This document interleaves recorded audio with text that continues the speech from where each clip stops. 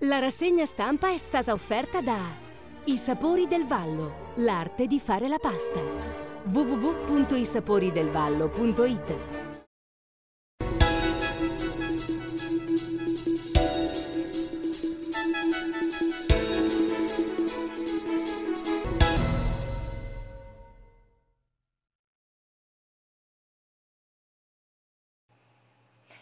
Buongiorno e bentrovati alla nostra rassegna stampa. Andiamo a guardare le prime pagine dei quotidiani di oggi. Iniziamo con il mattino.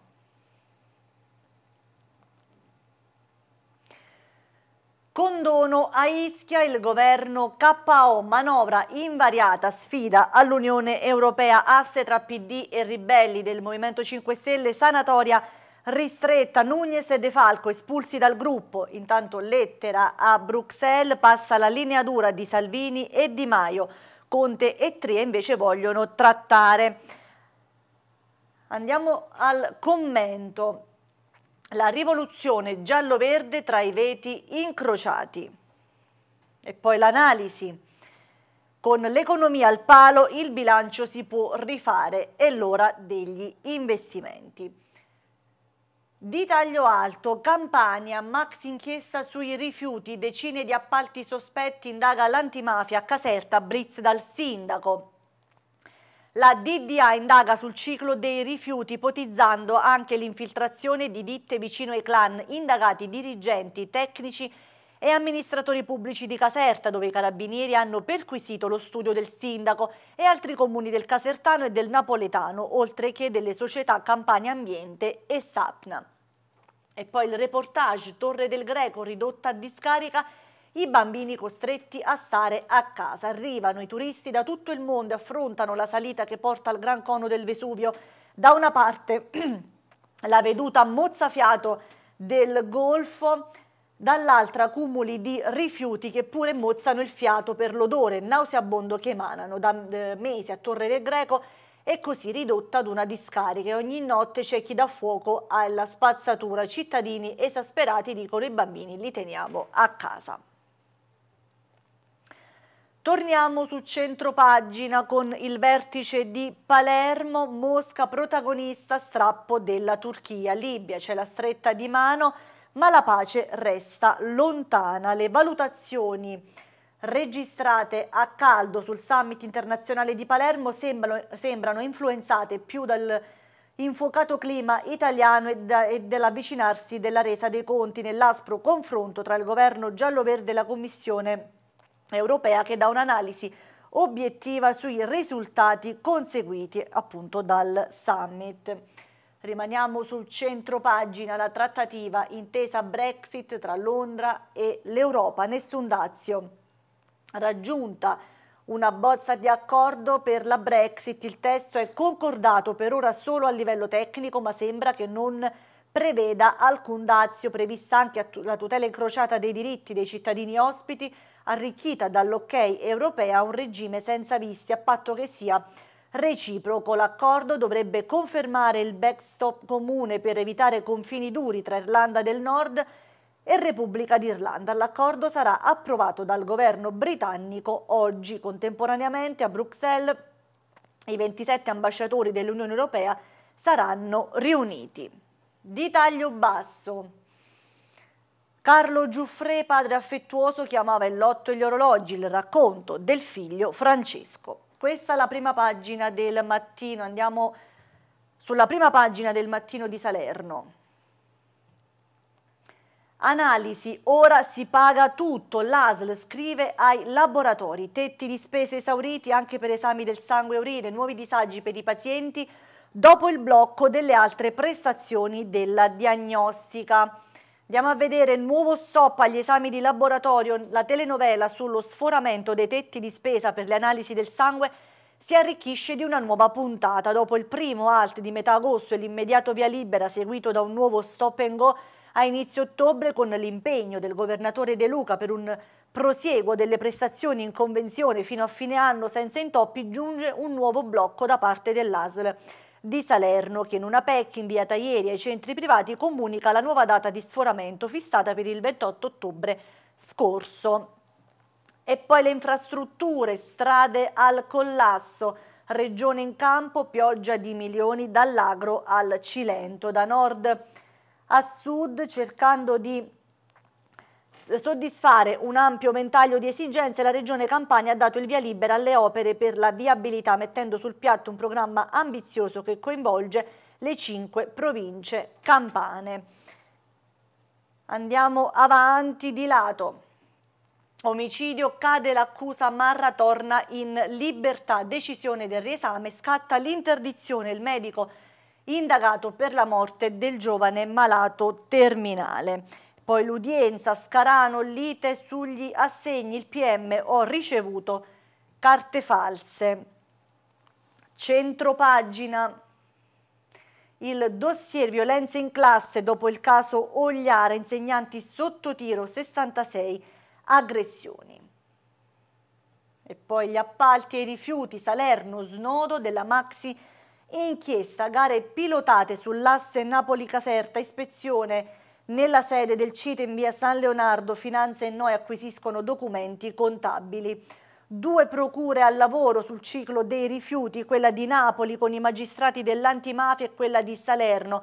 Decine e decine di perquisizioni delegate nel napoletano e nel casertano ai carabinieri del NOE, nel salernitano ai finanzieri del nucleo di polizia valutare, a Salerno perquisizioni presso il CITE, il Consorzio Interprovinciale Trasporti Ecoambientali. Rimaniamo su centro pagina con il caso. Giuseppe ucciso a colpi di pistola, Giuseppe, Giuseppe Marchesano ucciso a Montopoli in provincia di Pisa, il ragazzo di origini valdianesi, precisamente di Buonabitacolo, e sembra che ad ucciderlo sia stato un amico. Di taglio basso, borsa turismo, la cultura tra fascino e sviluppo, la manifestazione a Pestum da domani dal 15 al 18. E questo era il mattino, passiamo alla città. L'apertura Ospedali scattano i tagli del Ministero. Disattese le richieste della Regione, da gennaio chiudono i punti nascita nei plessi di Polla e Sapri, Salvo, Vallo della Lucania, i sindaci del Vallo di Diano e del Golfo di Policastro in rivolta e torna l'incubo degli esami a pagamento. Centro pagina con la fotonotizia, servizi gratuiti al cimitero, congreghi, arriva il conto e poi il processo, Monsignor Scarano, così donai 60.000 euro per San Gregorio VII. Andiamo di lato, ambiente, Fonderie Pisano c'è l'ok per la ripresa, viabilità, le luci nel caos, protestano i vigili. Movida, sigilli al modo, decide il giudice. E ancora Eboli, cade l'accusa di omicidio, Marra torna in libertà. Pagani non vuole pagare per un tatuaggio, viene accoltellato. Scafati, affari con i clan, il pentito fatto russo inguaia gli aliberti. Di taglio basso, il racconto L'umanità della gente, Ascanio Celestini martedì sarà ospite del Festival Berniero che si tiene a Deboli, attore, regista e scrittore, porterà storie e controstorie, lo spettacolo improvvisazione che mette insieme vari racconti con l'accompagnamento del musicista Gianluca Casadei. Questa è la prima pagina del quotidiano La Città. Andiamo su cronache. L'apertura la crisi della Movida, giovani salernitani si trasferiscono a Cava, la città sempre più deserta e locali vuoti. Vincenzo Montefusco dice serve un nuovo slancio, Loffredo chiami a raccolta gli imprenditori. Spostiamoci sul centro pagina. Chiesto il processo per il giudice Pagano, il fratello Carmine Rainone, altri 20 sentenze e favori si indaga anche su due centri privati. Si decide l'11 gennaio. Poi Eboli non fu omicidio volontario, liberato il dottor Marrara, decisione del Tribunale del riesame. Centropagina, la vicenda a Forlì, tangenti e corruzione, spunta una municipalizzata di Salerno, tre arresti e cinque indagati, c'è anche un funzionario del Mise. Di taglio basso, Polla e Sapri, niente più parti del medico. Impossibile la chiusura di un centro con 265 nascite. Contestata la scelta del governo, sindacati all'attacco, pronti i ricorsi. E infine Nocera inferiore, campionato nazionale di pizza doc, vince il pizzaiolo Luigi Greco di Torre del Greco. Questa è la prima pagina del quotidiano Cronache. Andiamo in Basilicata con il Roma. L'apertura verso il voto, ecco il cavallo di Troia Scar eh, Saraceno.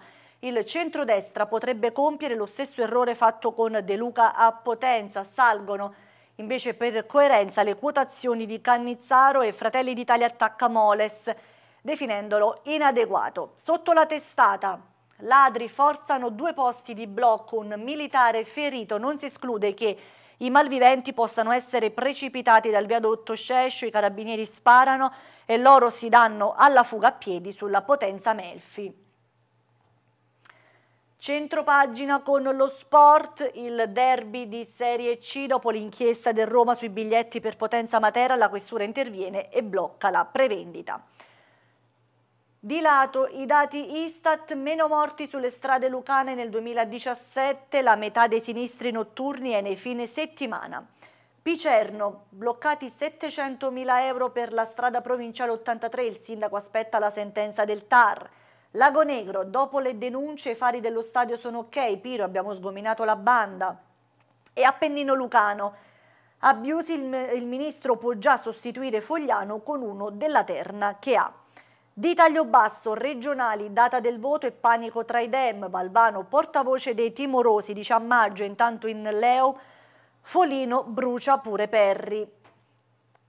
E infine il flash, eh, flash mob a Potenza, non ci metteranno il bavaglio, insulti dei 5 Stelle alla stampa, la protesta dei giornalisti lucani. E questa era la prima pagina del quotidiano Roma con cui termina la prima parte della nostra rassegna stampa. Ci fermiamo per qualche istante di pubblicità. Bentornati in studio per la seconda parte della nostra rassegna stampa. Continuiamo con le pagine del mattino. Andiamo a vedere che succede in provincia di Salerno. Partiamo con la sanità. Analisi mediche, ora si paga tutto, stretta dell'ASL, salta la deroga, la scure colpisce anche gli esami del sangue e urine. Federlab riparte all'attacco, deficit parla di deficit di programmazione, dunque c'è un nuovo stop di degli esami di laboratorio, la telenovela sullo sforamento dei tetti di spesa per le analisi del sangue si arricchisce di una nuova puntata. Dopo il primo alt di metà agosto e l'immediato via libera seguito da un nuovo stop and go a inizio ottobre con l'impegno del governatore De Luca per un prosieguo delle prestazioni in convenzione fino a fine anno senza intoppi giunge un nuovo blocco da parte dell'ASL di Salerno. Sono stati raggiunti dunque tetti di spesa, ora stop, coperture nessun rimborso alle strutture accreditate. Rimaniamo sulla sanità, sempre su questa pagina Polla e Sapri chiudono i punti nascita, primi vagiti solo a ballo della Lucania. Ed è polemica, ci sono state diverse reazioni. Il presidente della comunità montana Vallo di Diano, Raffaele Accetta, chiede alla regione e al Ministero di aprire immediatamente un tavolo tecnico per CISL CGL Cisle Will c'è un piano che non tiene conto delle specificità territoriali e delle caratteristiche orogeografiche di queste aree. Interviene anche il presidente del parco Tommaso Pellegrino, così si penalizzano le famiglie. Intanto tutti i sindaci sono impressi, la regione, chiedono che la regione ci ripensi. Lasciamo questa pagina. Passiamo alla scuola, docenti sotto tiro, 66 aggressioni tra botte e insulti, la prof schiaffeggiata ad Ogliara, ultima spia di un allarme crescente, in balia di genitori e studenti si è perso il principio di autorità. Quattro aggressioni fisiche in due anni e mezzo, almeno 62 attacchi verbali e minacce registrate in meno di un anno scolastico per una media di sei violenze verbali al mese. Ormai il lavoro del professore è in trincea e lo certificano i dati che arrivano dalle presidenze scolastiche del Salernitano suffragati da quelli dell'amministrazione scolastica provinciale, da un lato a campione, ehm, da un, da un lato a campione che riguarda 20 scuole superiori e medie risulta che i professori siano finiti in un, in un vortice di violenza mai registrata in passato. Si offende più spesso il professore nel suo ruolo di educatore e formatore, accade in classe ma più in generale negli ambienti didattici. E sempre su questa pagina c'è un'intervista a Francese che dice sono caduti i valori educativi ma gli adulti protettivi danneggiano i figli. La dirigente dell'ufficio regionale dice seguo con apprensione la vicenda di Salerno, mai abbassare la guardia. Il Ministero valuta la possibilità di costituirsi parte civile nei processi al fianco degli insegnanti mai smettere di dialogare, ma ai ragazzi va detto chiaramente che va rispettato chi siede in cattedra. Queste le parole della dirigente dell'ufficio regionale. Andiamo avanti. Mobilità, strade al collasso, pioggia di milioni da Cava al Cilento. Tutti gli interventi cantierabili finanziati dalla Regione Campania. Nocera arriva la maxi rotatoria da Quara, lavori alla via del Masso, da nord a sud da nord a sud cercando di soddisfare un ampio ventaglio di esigenze. La Regione Campania ha dato il via libera alle opere di viabilità mettendo sul piatto un programma ambizioso che coinvolge le cinque province campane. L'investimento è cospicuo, 1 miliardo 230 milioni di euro, soldi che arrivano da fondi europei e regionali. Complessivamente l'importo è superiore, si parla di 2 miliardi 300 milioni. Interventi che interessano tutta la provincia, da nord a sud, in particolare vediamo che cosa succede a sud della provincia di Salerno, pioggia di milioni anche per l'area appunto l'area sud del comprensorio Alburni Calore. Qui emerge come in altri casi che alcuni interventi sono sinergici ed elaborati insieme tra tutti gli amministratori, la comunità montana Alburni, l'ente provincia, la regione, tanto da far dire a diversi amministratori locali che uniti e compatti il territorio cresce e porta a casa risultati importanti. Andiamo ora a Pagani. Bottone, squadra prevoto, il PD entra in, in giunta, la femmina promosso vice. Varato il nuovo esecutivo, il patto con i Democrat sancito dalla nomina di Marrazzo, uomo di riferimento di Calce. Scafati, Palamangano, oneri pagati, ora le compensazioni. Cava dei Tirreni, Mediateca sul percorso a rischio crolli, la messa in sicurezza costa 11.000 euro. Angri, non c'è spazio per i rifiuti, ecoservizi, lite e denuncia. Sarno, impianti di biogas monitorati dal CNR, spesi 40.000 euro, i risultati non arrivano. E Scafati, operaio schiacciato da una lastra di 380 kg a processo il titolare dell'azienda e un tecnico. Spostiamoci a Battipaglia. Dieci anni al matricida pentito a Caraccio, riconosciuta la semi-infermità mentale, strangolò l'anziana in camera da letto dopo una lite. Vittima e carnefice soffrivano di disturbi psichici, lui dopo il raptus chiede, eh, chiese perdono, volevo solo zittirla. Ponte Cagnano Faiano, sottopasso la sfida di Sica, per riaprirlo serve coraggio. Eboli, giro di cocaina all'ingrosso, tre le condanne. E poi buon abitacolo, Giuseppe assassinato dall'amico di infanzia. Andiamo a vedere. Tristezza e cordoglio a buon abitacolo per la tragedia che ha colpito la famiglia Marchesano, ovvero l'uccisione di Giuseppe, originario del Vallo di Diano ma cresciuto in Toscana in Toscana è stato assassinato con sei colpi di pistola probabilmente da un amico e quanto stanno ricostruendo gli inquirenti. Il padre Enrico vive a Buonabitacolo e da alcuni giorni è nel Pisano per seguire le indagini e capire cosa possa essere accaduto. E proprio ieri c'è stata la svolta nelle indagini e infatti un amico d'infanzia il presunto autore dell'omicidio di Giuseppe Marchesano, trovato ucciso sabato sera nel suo appartamento di Montopoli in provincia di Pisa. E rimaniamo su questa pagina. Atena Lucana, studentesse incensurate rubano abiti in boutique. Cinque arresti nel Vallo di Diano da carabinieri e polizia. Quattro riguardano i militari dell'arma guidati dal capitano Davide Acquaviva. Si tratta di tre giovani studentesse taccheggiatrici e un pusher. I carabinieri di Teggiano, comandati dal maresciallo Pennisi, hanno preso in flagranza di reato tre diciottenni del territorio incensurate in un centro commerciale di Atena Lucana. Le giovani, dopo aver prelevato alcuni abiti dagli espositori, si sono recate nei camerini per provarli rimuovendo con un coltello a serramanico i dispositivi antitaccheggi occultando delle, eh, occultandoli scusate, nelle proprie borse, ma sono state sorprese e sottoposte agli arresti domiciliari. Il quarto arresto, sempre ieri sera, è stato eseguito dai carabinieri di Sassano guidati dal maresciallo Sirsi nella rete un 23enne del posto per detenzione ai fini di spaccio di sostanze stupefacenti. E infine Bellizzi, spacciatore, scusate, spacciatore in trasferta preso al posto di blocco.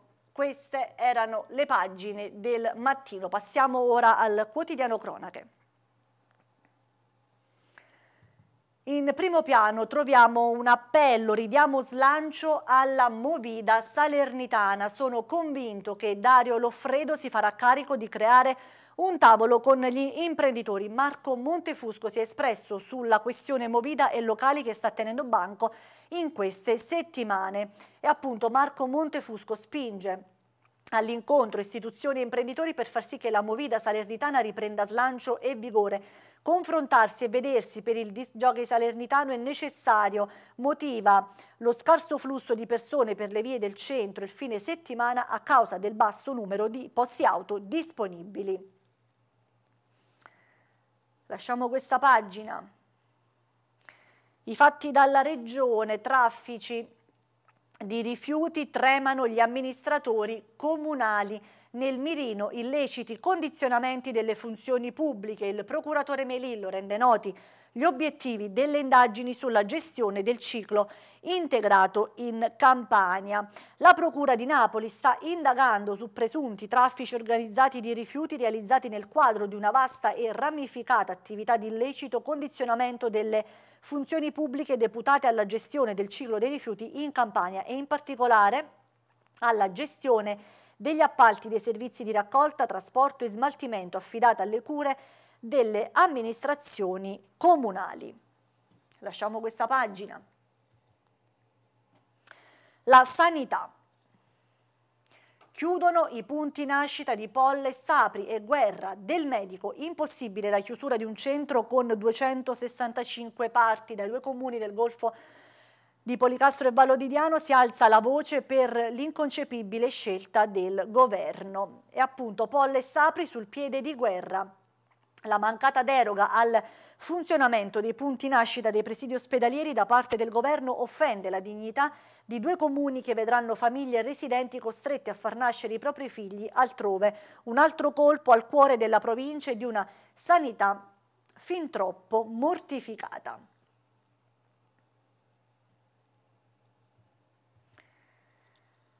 Andiamo avanti con Battipaglia, festa degli alberi, il sì battipagliese mh, dalla penna scelta della scuola domenica dalle 10. Il comune capofila della Piana del Sele partecipa all'evento nazionale. Ancora Battipaglia, cacciata dal treno, vuole suicidarsi sui binari, salva.